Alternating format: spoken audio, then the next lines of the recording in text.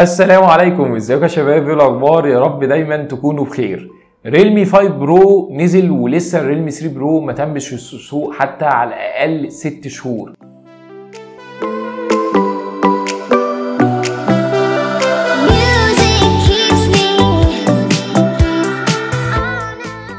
يعني إحنا كده Realme 3 Pro ده طب يعني نرميه يعني ولا نشوي عليه دورة ولا نعمل إيه بالظبط؟ أنا هقول لك كل حاجة في الفيديو ده بس أنا لسه راجع.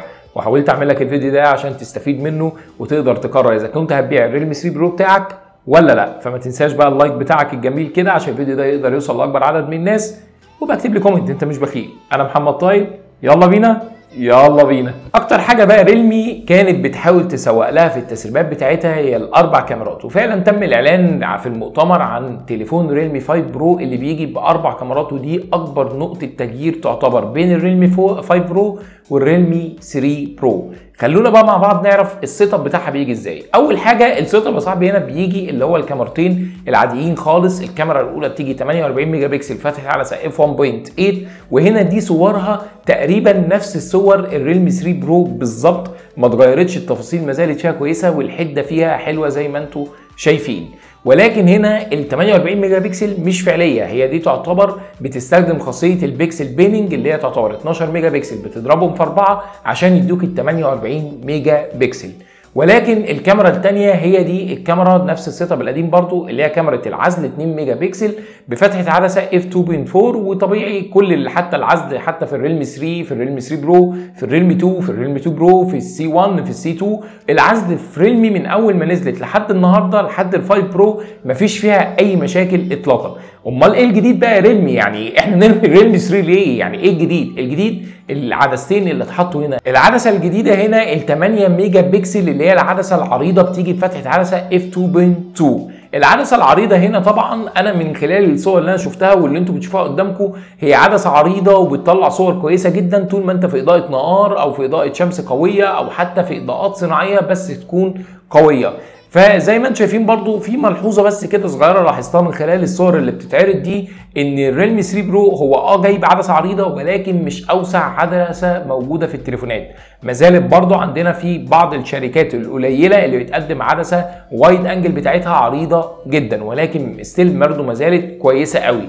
وده يعتبر أول اختلاف في الكاميرات. تاني اختلاف وهي العدسة الثانية ودي عدسة ال macro اللي انت تقدر تاخد بيها الصور تعتبر macro صغيرة لأي حاجة موجودة قدامك ودي بتيجي 2 mega pixel بفتحة عدسة F 2.4 العدسة دي طبعا يعني خلونا أكون صريح معاكم بقى انت مش هتستفيد بيها إلا في حالة واحدة بس للتصوير والحالة دي هي عبارة إن انت تطلع تصور في ضوء شمس قوي جدا وبالنهار وتقدر تكون حاطط الموبايل بتاعك على tripod أو مثبت إيدك جامد قوي عشان تقدر تاخد صورة macro أو للشيء اللي موجود قدامك بالعدسة ال 2 mega pixel اللي تعتبر قليلة. وده الطبيعي في كل التليفونات اللي نزل فيها عدسات macro. كانت هي دي تعتبر العدسة ال standard أو الأساسية. بالنسبة بقى للكاميرا الأمامية. الكاميرا الأمامية هنا بقت 16 mega pixel يعني تعتبر قلت ولكن بفتحه عدسه F 2.0 طب ليه بقى؟ طب هتطلع صور عاملة إزاي؟ من خلال برضو الصور اللي أنا شفتها الصور بتاعتها كويسة بل بالعكس في بعض التحسينات تمت عليها زي ال dynamic range بقى أحسن شوية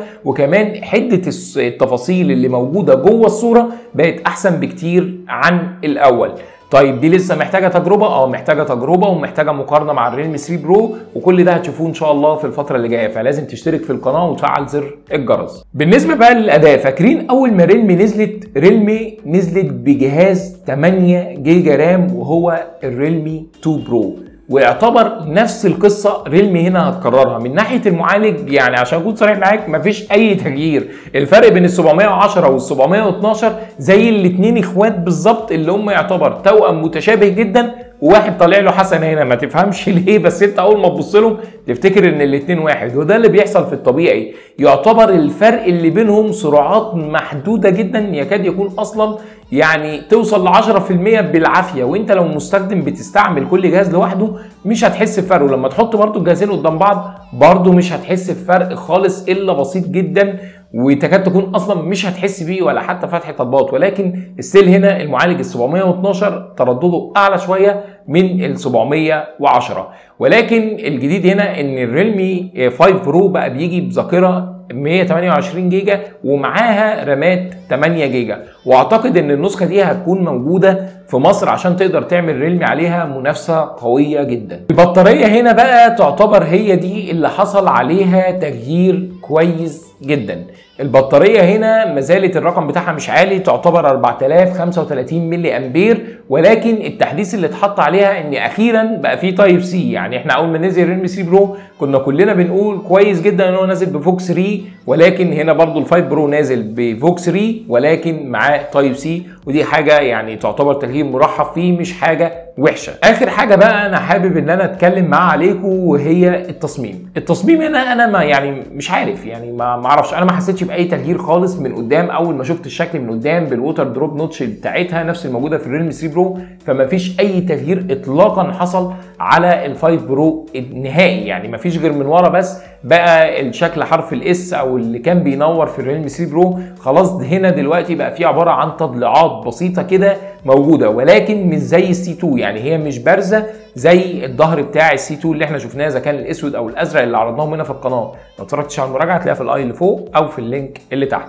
ولكن فعلا التضليعات اللي هنا تعتبر هي مرسومة تحت البولي كربونات اللي معمول منه الجهاز يعني مش هتلاقيها بارزة زي ال C 2 خالص. فال design ما اتغيرش فيه أي حاجة خالص. جينا بقى للسؤال المهم. هل أغير من Realme 3 Pro وأنزل ابيعه وأخسر فيه بال 700 وال 800 جنيه دلوقتي وال 600 جنيه كمان ولا أستنى وما بيعش وأصبر على جهازي؟ قبل ما لازم أقول لك كده لازم تعرف سعر ال Realme 5 Pro النسخة الأساسية اللي ال 464 هتبتدي بما يعادل مصري حوالي 3100 جنيه. يعني تقريبا عقبال ما تنزل هنا مصر تقريبا هتنزل بعد الجمارك وبعد القصة دي كلها تقريبا هتنزل بحوالي 3600 3700 جنيه يعني تقريبا هتبقى في نفس سعر النسخة ال 464 من ال Realme 3 Pro. ولكن النسخ اللي أنا أتوقع إن هي هتكون موجودة في مصر هي نسخة ال 464 والنسخة ال 8 128 جيجا. دول نسختين اللي إن شاء الله هيكونوا متوفرين في مصر. ولكن بقى سيبكم من الكلام ده كله اتغير ولا لأ؟ الفرق الوحيد اللي أنا شايفه من وجهة نظري بين ال Realme 3 Pro وال Realme 5 Pro هو الكاميرات. ومش كل الكاميرات ده العدستين العدسة العريضة والعدسة ال macro فانت ليه هتخسر من اول 600 لحد 800 جنيه؟ ده متوقع الخسارة في الجهاز النهارده عشان بس مجرد تاخد عدسة عريضة وعدسة آه تعتبر macro. آه هي عدسات كويسة وتطوير حلو في الكاميرات ولكن مش الفرق الكبير يعني. دول عدستين بس يا معلم يعني. الكاميرا الأساسية ما زالت بتطلع نفس الصور اللي بتطلعها ال 3 Pro. فانت لو لسه معاك ال Realme 3 Pro اوعى تتسرع وتسمع كلام الناس وكلام التجار وروح بيع. لا خلي معاك الجهاز. واقعد بيه لأن تقريبا عقبال ما ينزل 5 Pro قدامه من شهرين لثلاث شهور فحرام إن أنت تخسر في الجهاز. لكن لو أنت لسه هتقبل ولسه هتروح تشتري Realme 3 Pro لا ما تشتريش وأصبر ال Realme 5 Pro دي طبعا ما كانتش كل حاجة ده كانت انطباعات كده أولية لسه في مراجعة كاملة ومراجعات بعد شهور من الاستخدام ومقارنة بين الجهازين. فأنت لو مش مشترك في القناة اشترك وفعل زر الجرس وانزل قول لي تحت رأيك هل Realme فعلا استعجلت في إطلاق ال 5 برو ولا أنت شايفها حاجة كويسة عشان تقدر تنافس الترندات اللي هي نزلت بالكاميرتين وبالثلاثه كان معكم محمد طايل أشوفكم في رعاية الله. سلام عليكم.